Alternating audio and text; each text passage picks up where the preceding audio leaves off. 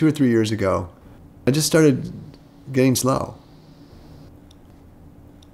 My ability to move my hands, and arms, and body was just slow. I felt like the way you'd feel, like what you might call bonking. You know, if you run 20 miles into a marathon and you suddenly feel like I am just totally out of gas. And I felt like that. Right now, the big concern for me is dystonia.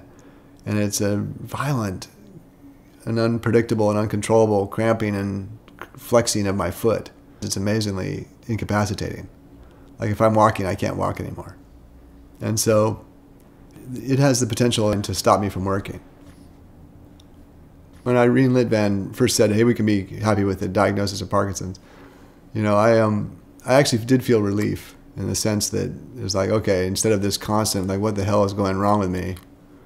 Now there's a name for it, and it can be, um, I don't know, you know, I can start to work on it in some way, and you know, let's research this thing and learn all about it and figure it out. And you realize that okay, this is not going away. This is a terminal thing that's going to get probably going to get worse. And so, you know, that's that's heavy at first. I, I did get hit by a couple of days where I was just like, why am I doing anything? You know, why get up and go to the office or, you know, why even get up at all?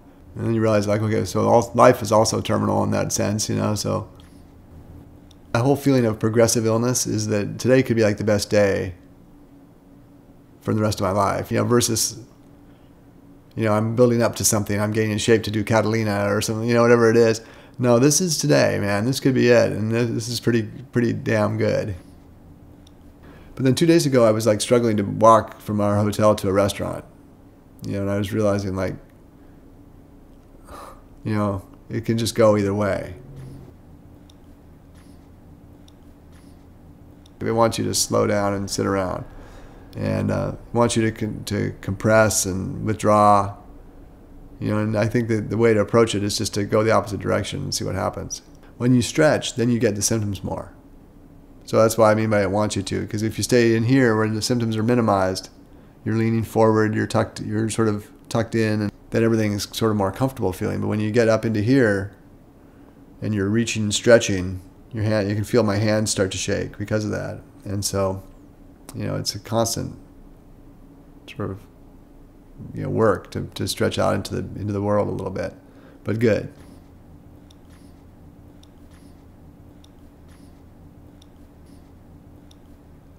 My whole basis of my life had been about being good at stuff. You know, like being smart, capable, attractive, uh, funny. You know, all these characteristics that that are all external. You know, and I just everything in my life had been all about being good. And, and so now it's a realization that it's not going to be that way. Um, and so now what? You know, it's just, and so at first I thought like, well, that's the end because that's, that's what I do is I put on a, a great show and I'm good at stuff. Um, and then, you know, so in the last year I've been just thinking about, okay, so now what? Like, what is, uh, what am I about? And so I think that that is the most incredible gift that you can get at this age when we're all sort of entrenched in how we are. We've always been that way. And now it's like, okay, you're not going to be that way anymore. You know, okay, so what, what you get to choose. You know, you get to, you get to choose what is going to be the way that I define myself and the way that I respond to the world, etc. You know, I'm going to be bad at things. I'm going to be slow. I'm going to be uh, um, I have a hard time making decisions, all these crazy things I used to be really good at. Uh, but at the same time, you know, I, am not working on my on my show nearly as much. I put I'm realizing how much energy I put into my my show always, how much that kept me away from people and away from experiencing the world. You know, and now that that's so now it's like all that I have is that, and it's awesome. So it's crazy. So it ends up actually being like I wouldn't take it back at this point.